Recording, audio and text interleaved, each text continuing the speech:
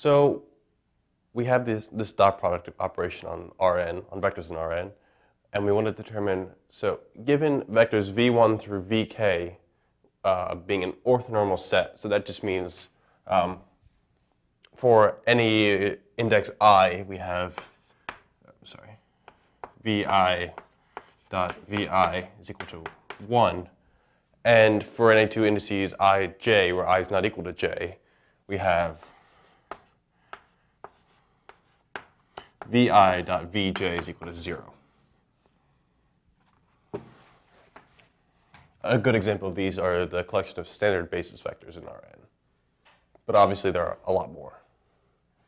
So we're given an orthonormal set of vectors in Rn.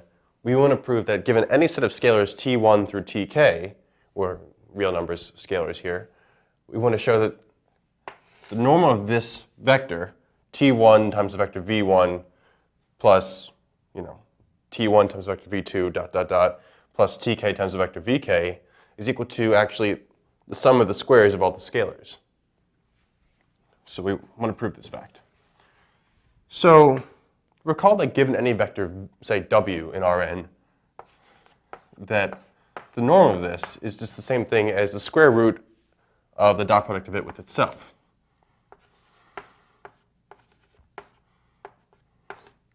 And we're going to exploit this fact here. So in particular, we want to consider this vector. And so we take, we have our extended equal sign here. And um, so we don't make the notation confusing, we'll add the square root at the end, but all the operations are still the same. So this dot with itself, so t1 v1 dot dot dot plus tk vk t1 v1 plus dot dot dot plus tk vk. Well, we have to use the operations or the properties that the dot product uh, satisfies.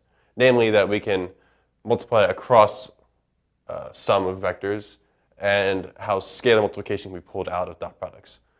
So well, we just evaluate this. What is this going to be? So we first see that say t1 squared v1 dot v1 plus t1 t2 v1 dot v2 and so on t1 tk v1 vk And then uh, let's get some extra room here.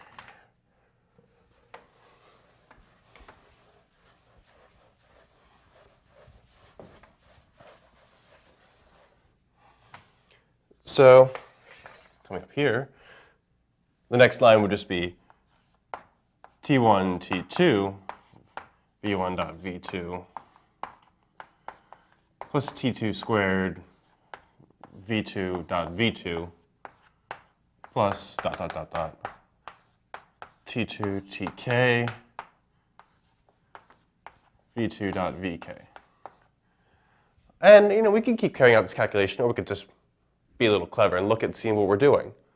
So if you look at the first line here, this is 1, because it's an orthonormal set of vectors. And likewise, since the indices here are different and the rest of them, these are all equal to 0. So this whole sum here is equal to 0. Likewise, for the second line, this is 0, this is going to be 1, and then this is going to be 0. Likewise, for every other vector where the indices are different. And if you calculate this down for every other pair of vectors, we're going to see a bunch of terms of the form ti tj times vi dot vj, where we assume here that i and j are different indices. Well, that's going to go to 0 because it's orthonormal. And likewise, we're going to get a lot of terms of the form ti squared vi dot vi. Well, this is just going to be equal to ti squared because this is equal to 1. So when the dust settles in this calculation, we see that the only non-zero terms left in the whole the whole dot product are just going to be the sum of ti squared vi dot vi, where i goes from 1 to k. But since we're orthonormal, this is v, this is equal to 1. So the sum just becomes ti sum of all the ti squared. And then recall that we, we have to put in the square root at the end, or else we'd be lying. So taking the square root, and then we see at the end that t1 v1 plus dot dot dot tk vk is in fact equal to the square root of tik ti squared. And we're done.